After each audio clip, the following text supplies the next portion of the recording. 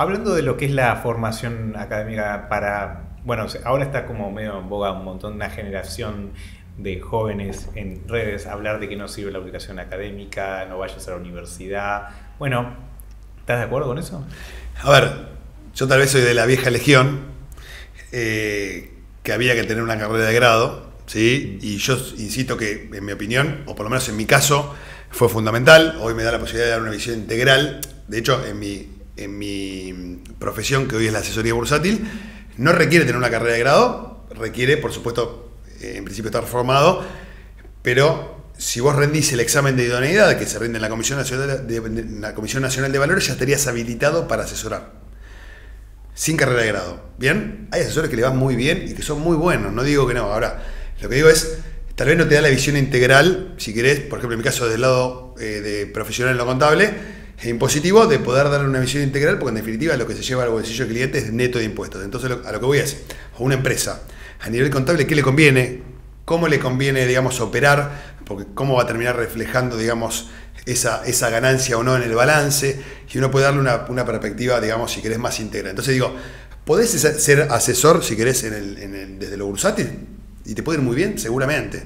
Ahora, tal vez vas a poder abarcar la visión integral y eh, te va a se te va a dificultar bastante más. ¿sí? Yo creo que es necesario no sé si una carrera de grado, pero tener alguna especialización, digamos, la capacitación para mí es fundamental. No solo desde el lado eh, financiero, ¿no? Intuyo que en la mayoría de las profesiones debe ser así. Ahora, hoy también se da mucho que eh, el especialista o tener algo, digamos, ser especialista en algo es lo que, es lo que termina siendo, si querés, redituable a futuro para, para, la, bueno, para que, la profesión que sea, digamos, ¿no?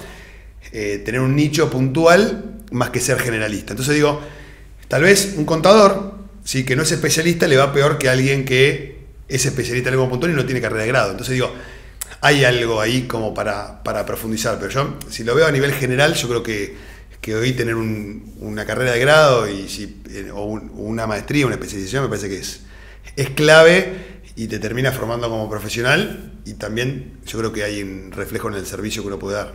¿Cuáles son los errores de las pymes eh, a nivel de finanzas que más has visto y que no deben hacer, o en todo caso que deberían hacer en lugar de eso?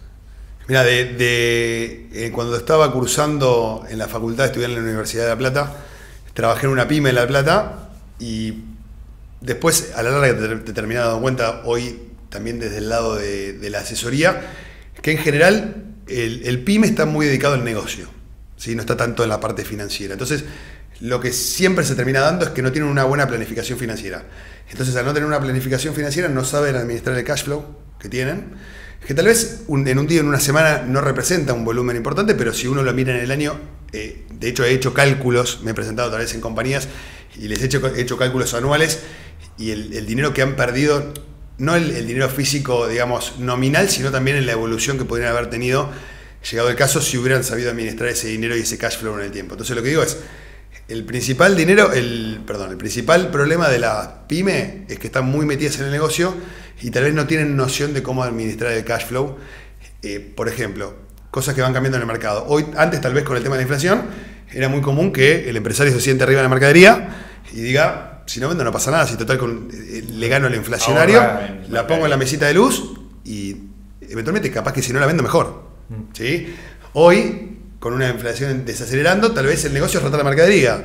Bueno, digo, eh, eso por ahí el comerciante lo tiene más aceitado, pero digo, la parte financiera yo creo que es un gran bache que hoy no saben manejar y que suelen recurrir mucho a, consultores financieros, digamos. ¿Para qué? Para agarrar el cash flow y meterlo, bueno, no en un plazo fijo, pero en algún tipo de, digamos, de cartera armada. De corto plazo. Claro. Fondos money market, eh, letras, LECAPS, que ahora está muy de moda eh, letras cortas, bueno, eventualmente alguna operatoria de corto plazo donde puedan calzar, digamos, eh, el dinero que tienen, digamos, disponible, o mismo financiamiento, se da mucho en el sistema bursátil.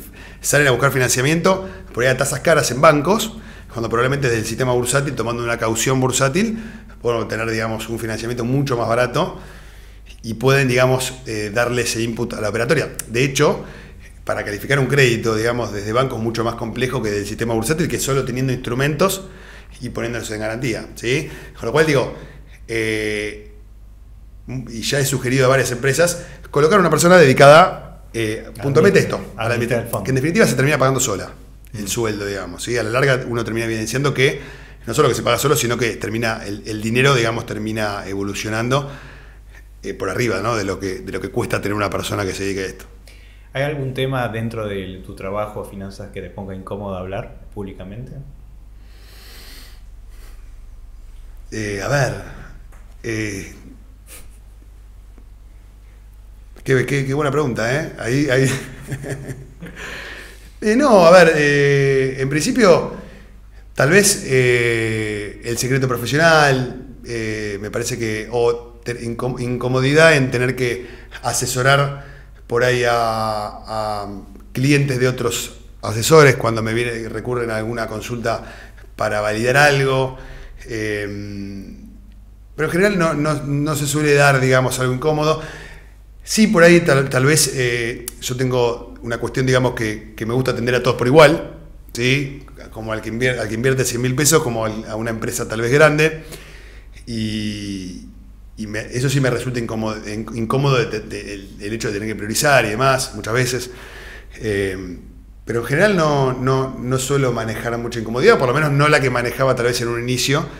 Eh, uno termina teniendo el ejercicio, digamos, de tratar de, digamos, flexibilizar o, relajar cuestiones como, por ejemplo, una charla con un cliente nuevo o un cliente que no entiende y que quiere ir a un perfil que, que no es el de él y después tener que entender eh, el cliente rezongando porque eh, asumió una volatilidad que no estaba preparado a asumir. Pero bueno, en, la profesión uno va, de alguna manera, va evolucionando y va, entendiendo que, eh, qué situaciones puede amenizar, digamos. ¿Algún último consejo que quieras darle a alguien que quiera dedicarse a tu profesión? Bueno, a ver, como, como inversor o como profesional. Como profesional. No, a ver, me parece que, que una pata fundamental, ¿sí? Es la, las herramientas que uno va adquiriendo, digamos, en el tiempo, no solo la formación académica, sino eh, un trabajo incómodo, puede ser, como por ejemplo te toca trabajar de chico en un McDonald's, bueno, te toca trabajar, en mi caso me tocó trabajar en una empresa de, que vendía, digamos, eh, una empresa multinacional de, de prendas de vestir, que a su vez vendía seguros, tenía una tarjeta, bueno, y demás, y yo tenía 18 años y vendía, vendía seguros a la gente que entraba a comprar ropa. Y en ese momento digo, ¿de qué me va a servir esto? Por supuesto, en el momento no lo visualizás, pero bueno, de alguna manera uno va tratando de ir sumando herramientas, este maletín de herramientas que en algún momento uno se da vuelta y necesita recurrir. En ese caso, el tema de eh, poder, digamos, exponerse a situaciones incómodas, ¿sí?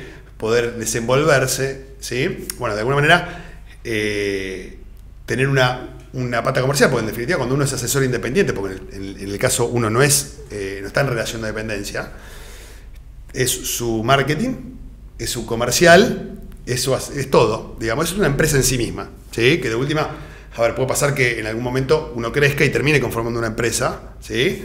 Pero en definitiva es, todo en uno. Entonces digo, tengo muchos, de hecho tengo, eh, tengo digamos, contrato de mentoring tanto en Balance como en Invi, o sea, hago mentoring para asesores nuevos y hago mucho hincapié en, lo comercial, porque muchas veces termina sucediendo que los asesores son muy buenos técnicamente, pero no tienen y el perfil comercial, entonces no evolucionan.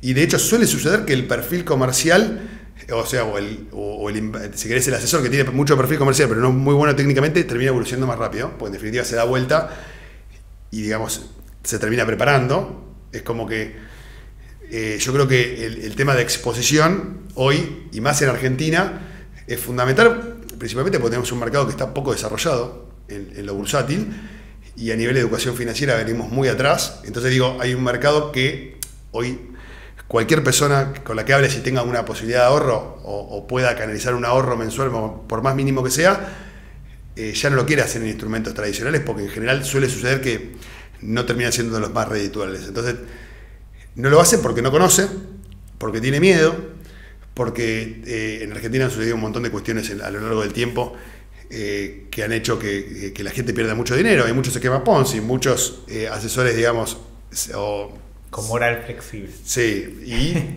youtubers financieros. ¿sí? Entonces lo que digo es, eh, hay que mostrarse, hay que explicar, hay que, hay que tratar de hacer escuela en lo que tiene que ver con la educación financiera y por supuesto, darse a conocer eh, como asesor, que es fundamental porque mercado, mercado hay y, y la gente necesita entender cómo canalizar su, su dinero.